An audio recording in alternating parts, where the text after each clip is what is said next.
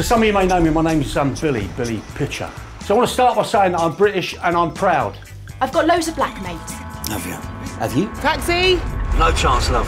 You don't like anyone that's black. You don't like anyone of colour, actually. Do you speak any English? My name's Dr. Ali. Now you want, mate, I'm going to go, I think. All of yous, bloody scum. Good evening, Mr. Pitcher.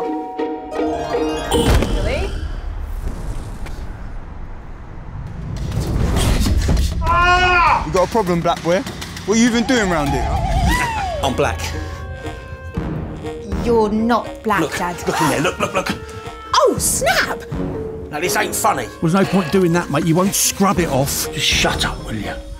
You mean, under all this, you are actually a white man? Exactly. Mom, it's a black man. Can I open it? Hold on, I'm coming.